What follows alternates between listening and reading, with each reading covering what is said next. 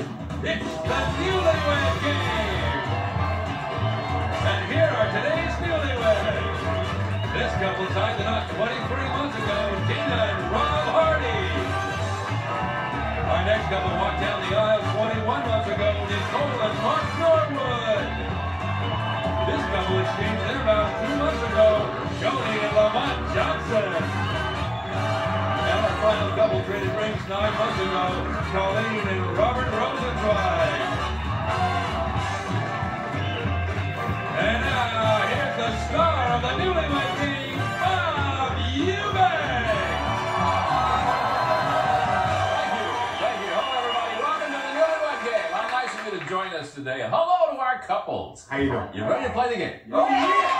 Right. Before we get started, let's ask the ladies if they would please go off to our soundproof room so we can start the game. Ladies? And a reminder, gentlemen, in round one, we'll be asking you some five point questions. You'll be answering these questions as you predict your wife will answer the same question when she returns. Now, remember, if her answer matches your prediction, you get five points. And each correct answer brings you that much closer to that fabulous second honeymoon. So the ladies are gone, and here we go with your first question. Gentlemen, when it comes to your future lovemaking sessions, what will your wife say is easier to predict? Exactly when it will happen, exactly where it will happen, or exactly what will happen? Which is easiest to predict, Robert?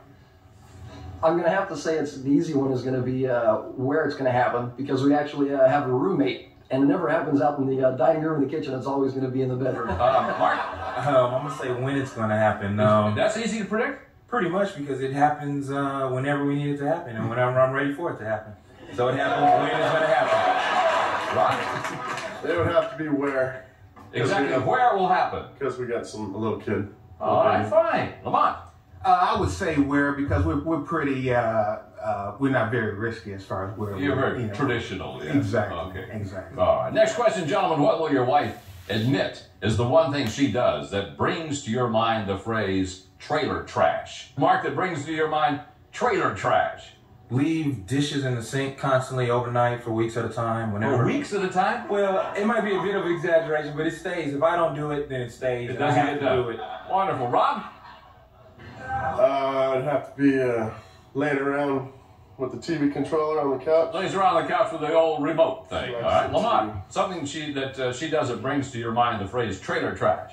I would say uh, leaving her clothes around. She just takes her clothes She's a off. slob. And, and uh, well, she's not a slob. She just She's not messy. Uh, okay, let's go with messy. We can go with messy. I'm going to have to say it's the way that she organizes her clothes because the closet is just cramming. There's, there's only about a foot of space, but there's like So one thing she the way she 100%. organized her clothes. All right, next question, gentlemen. How will your wife say you would complete this sentence? This is you talking. If my wife is ever cast in a big budget Hollywood movie with explicit love scenes, I sure hope they use a body double when they zoom in on her blank. Right? Oh boy. On her thighs. On her thighs. Yeah, okay. Lamont. Uh, I would say her forehead. Zoom in on her forehead. Very safe answer. Robert. I'm going to have to say her uh, rear end. On her rear end. Mark. Um, I'm gonna say her breast. She calls them chichas. Whatever they are, we'll take it. Thank you, gentlemen. We'll be right back to reunite the newlyweds, and we'll see how well our husbands have predicted what their wives will say. Right after these messages. Join me, Bob Eubanks, for my picks from Card Sharks, Match Game Hollywood Squares, Family Feud, and the Newlywed Game. It's the best of Bob during Bobtober on BUZZR. Starts Monday at 8.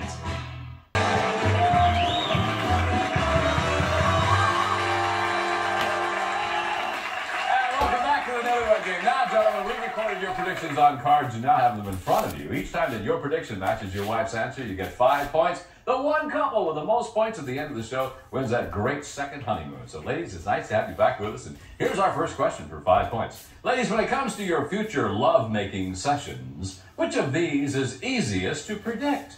Exactly what will happen, exactly when it will happen, or exactly where it will happen? What's the easiest to predict, Janae? Um, I would have to say where it will happen. It's easy to predict where it's going to happen. Yes, pretty much How so. come? That's not boring. It's not boring. It's not boring. All right. Lamont said it's easy to predict uh, exactly where it will happen. Yeah. Uh, where does it happen? Usually in the bed, Bob. Oh, good. Usually in the Boy, he's a creative sucker, isn't he? Yeah. He is creative Oh, though. oh, I see. He makes it very creative. Oh, good. I would also say where it would be. It's going to easy to predict where it's going to happen. Yes, because well, we have a big house, but Well, congratulations. Rob, predicted you say it's going to be exactly where it will happen. Yes.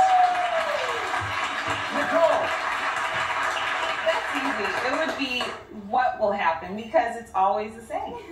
It's the same. You mean he's not very creative? Maybe he ought, he ought to talk to Lamont down here. Now, Lamont, he's, he's creative. We need to talk to him now. When you guys go off to the soundproof room, I fill take, him in. I take care of it. Take, thank you. Okay. I got Mark said it's exactly to predict uh, when it will happen, not what will happen. Ca- Colleen? Um, I'm going to definitely have to say where. This is because there's no question about it. He always jokes about my lack of creativity, and it's always in the same place. So I'm definitely going to have to say where. Always where? Out in the backyard, huh? No, no. Robert predicted you would say it's uh, exactly where. Yeah. Next question, ladies. Tell me, what is the one thing you do that brings to your husband's mind the phrase trailer trash? Something you do, Dana, that brings to his mind trailer trash. I collect junk. You collect junk. I like All to right. collect everything. Rob says the one thing you do that brings to mind trailer trash is you lay around on the couch with the remote. Nicole? I I'm a mess. I um I don't clean the dishes. You don't clean the dishes. Mark predicted you would say the one thing is that you leave the dishes in the sink for weeks. Nicole, he said you leave the dishes in there for weeks. I don't leave the dishes. You know, if, if if I don't clean the dishes, then the dishes stay. So if I leave them for weeks, then you definitely will leave them for weeks. Yeah. But I refuse that's to leave them for weeks. Yeah, that's true. That's fair. So they actually never stay for weeks. Colleen? This one's pretty hard because I think I'm pretty good about most things about keeping up. So I'm going to have to say maybe I'm lazy on the weekend. You're lazy, all right. He predicted you Yeah. would say the one thing he reminds him no is you organize your your, your clothes. All right, Janae? Well, Bob, um, I'm not really, I'm not really. Well, he had an answer so fast, I, I had to. Well, he had. Come to think of it, he had several answers. I had to pin him down to one answer. I I mean, the whole time while we were doing this, I was sitting here thinking, I can't think Trailer of anything trash. because I'm not. that's yeah, he had an answer, though. But I'll just go ahead and come up with something. Why don't you do that? I'll just come up with something. I It makes the show say- easier because I got another question. I think okay, okay. I would have to say, um, probably that I when I'm during the week, I'm Yeah. really really tired from working. Sure. So what I do is instead of hanging my clothes up, I just throw them up on top of the door. You throw your clothes Every, on the and door. at all the end of the week, there's a week's worth of clothes I the top of the door. Lamont predicted you would say the one thing that reminds you of trailer trash, you leave your clothes everywhere.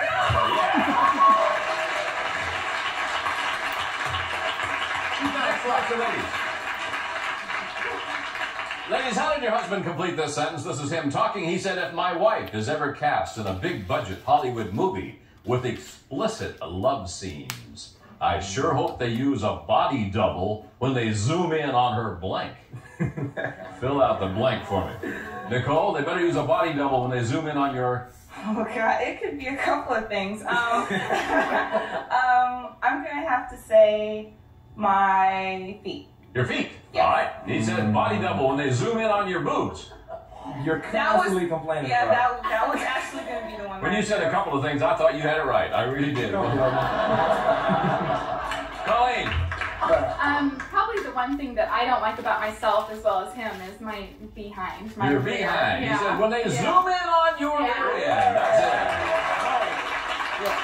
Janae. Well, it's probably two things, but I'll just choose one. Why don't you do that? It could be either the boobs Now you're just going to choose one. Now, which one are you going to choose? My forehead. Forehead. He said I it would be uh, zoom in on your forehead.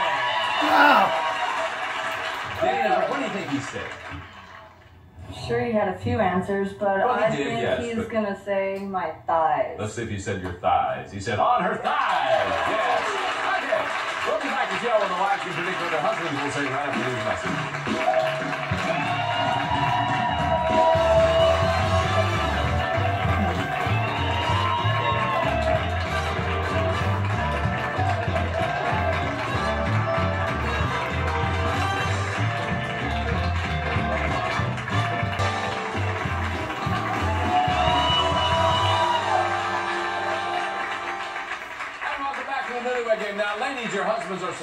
Stage. It's your turn to predict what they will say. Remember, these questions are now worth 10 points. First one. Ladies, in which of these positions will your husband say he looks the sexiest? Kneeling, squatting, or standing? Nicole, where, where does he look the sexiest? I would say kneeling. He looks the sexiest kneeling. Yeah. Okay, fine. Dana? I would have to say kneeling just because of the different positions. Is the sexiest from my point of view? Oh, rule yourself, Janae. I always have to say standing. Standing. He's a pretty sexy guy. All right. Colleen? He's always worried about his stomach, so I figure standing is Standing, yeah. All right, ladies, next question now. At exactly what age will your husband say a woman goes from being a hot babe to a ma'am? Dana, what age? I would say 27 because that's when I had my baby. So, Are are you are you a ma'am then? uh, yeah. I Oh, guess you're not a hot babe anymore? Apparently not. After you had a baby, then Huh. you just go for a man. Does he think you're a hot babe? I hope he does. He Does he better. like he likes the way you dress and likes the way all that? No, he wants me to be a little more conservative. Why? He doesn't like uh, other people looking, but he'll he'll look at other people if they dress provocative, but Yeah. he doesn't want me to do that. He doesn't want you to dress provocative. No, he I mean, like you have see-through shoes on. I know. I know. Holy cow. Janae, at what age does a woman go from being a hot babe to a ma'am? I'm the wrong one to ask answer that question Why? because I plan on being uh, what is it? A hot mama? No, a hot babe. A hot babe. You can be a hot mama if you want to. I plan on being a hot babe up until my 50s. So I'm gonna say I'm gonna work out, do my bicep curls and keep it in shape. So I'm gonna say maybe 50. 50. All right. Good. Oh, let's see. Uh, Colleen? Ooh, this one's really tough. He because he likes young women, but I'm gonna have to say 40. 40. Yeah. Nicole? I'm gonna have to say 35. 35. Next question, ladies. How will your husband say you would answer this question? This is you talking. I hope our children have my family's blank. And that his family's what? Skips a generation. Janae? I hope that um, our children have my family's good looks. Good looks, because his are ugly. No, they're not. Oh, yeah, but he it's has sort of. good looking. He has good looking people. Yeah, I, just- understand. Yeah. I just, okay. not all of them, yeah. and, and we always skip a generation with his family's what? Um, with his family's height. Height.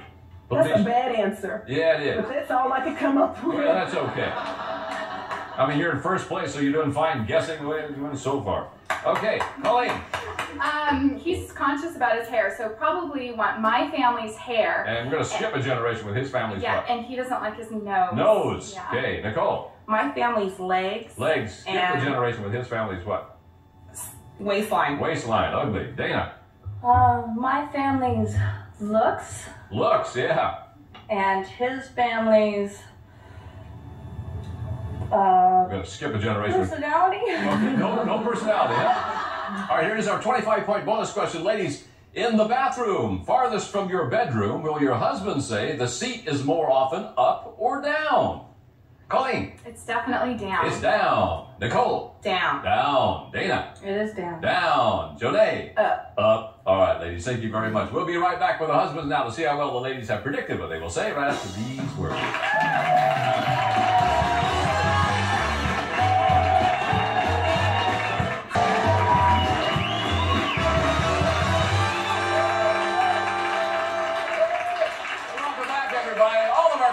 Scored some points. Lamont and Janae, you're out there in front with 15 points. Let's see how long you can hang on to that lead. Remember now, we're going to see how well the wives have predicted what you guys will say, and these questions are now worth 10 points. And here's our first one. Gentlemen, in which of these positions do you think you look the sexiest? Standing, kneeling, or squatting? Rob? I'd have to be standing. Standing. She said you look the sexiest kneeling. Oh, what are you talking about? In the position where I said you look so sexy when you do I that? Oh, don't kneel. In the position, well, when they're making Never mind. You devil, you Rob, I'll tell you what. Mark! Standing. Standing! She said you look the sexiest kneeling, Mark. what? Does it have to do with that position? It's no, it's because I mean, when I you're like kneeling in front of you, but when you're kneeling, you know. it No, I don't know, and that's okay. well, when I'm standing, you know, it stretches me out a little bit. We got a little gut thing going? Just a little bit. Oh, I understand. Robert! I'm going standing. Standing! She said you look the sexiest. Standing! Yeah! Okay. Going to say. He said all three, Bob. I know what you're thinking, Lamont. Which one, Lamont? Uh, I would say standing. Standing. All right. Your wife said uh, standing. all right. Next question. Tell me, at exactly what age would you say a woman goes from being a hot babe to a ma'am? Mark? 29. 29. 35, she said. Hey, hey, hey, hey, hey. How old is your, no response. how old is your wife? Uh, my wife is 24. So she's still a hot babe? Definitely. Okay. Robert? I'm gonna go for 30 just because I'm 29. It's right about there. I'm hoping it's. I'm guessing 30. You're guessing 30? Your wife said that no 40, pal. 40. She goes from. I was gonna say Yeah. 30 too. Let me check with Lamont about this. Lamont, what do you think? Now, what age? Now, you're an expert on women, I, I, I assume. I, I would, I would like to think so. yes, Uh, you know a lot about women, I assume. I, I know uh, Yeah. one or two things. Been with a Yeah. lot of women in your life. Well, I don't know about all that. But one or two. One or two, I assume. Hot babe, ma'am, I would say 50. 50. She said it would be. Wow.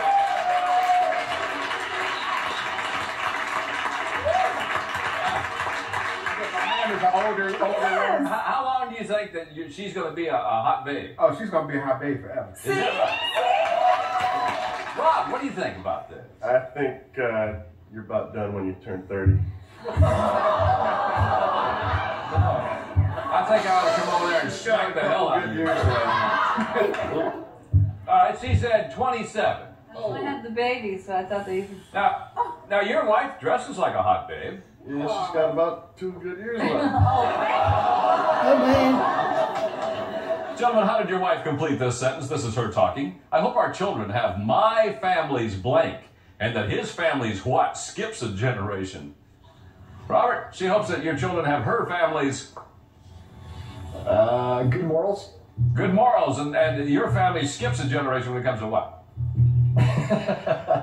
uh, gosh, uh, gambling. Gambling, all right. She no, she wants she wants your children to have her family's hair, and they want to skip a generation when it comes to your family's nose. Always complain about You're your right. nose. You're, you're right. Oh my You're goodness. You're right. Yeah, don't point, Robert, please.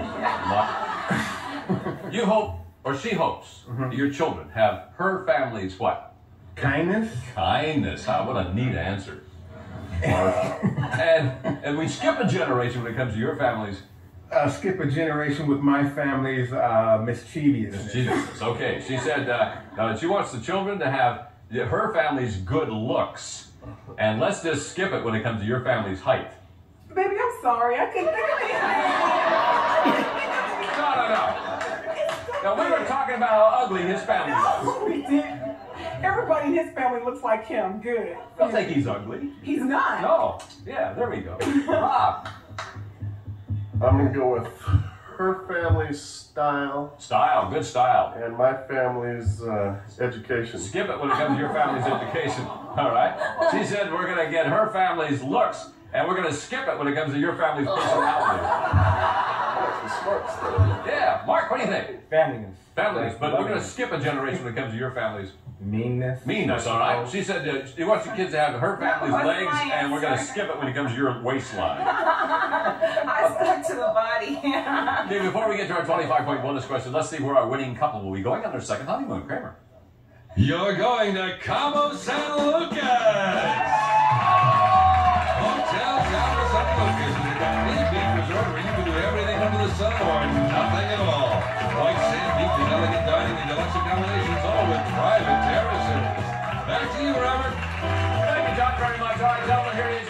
25-point bonus question for 25 points, gentlemen. In the bathroom, farthest from your bedroom, is the seat more often up or down? Let's go first. Couple number three. Mark and Nicole with five. 25 and give you 30. Get it right, and you'll zoom into second place. Down. Down. She said it's down. All right. Couple number two, Rob and Dana with 10, 25 to give you 35. Tied for the lead, Rob, if you get it right. It's got to be down. Down. She says it's down. Couple number four. Robert and Colleen, you got 20, 25 to give you 45. Get it right, you're going to be in first place. I'm hoping it's down. Down. She said it's down. All right, couple number one. Lamont and Janae, you have 35. 25 to give you a grand total of 60 points. Get it right, you go into Cabo San Lucas. What's your answer? My mother always taught me to leave the seat down. Down. She Oh, says it is. It is up. And that means at couple number four,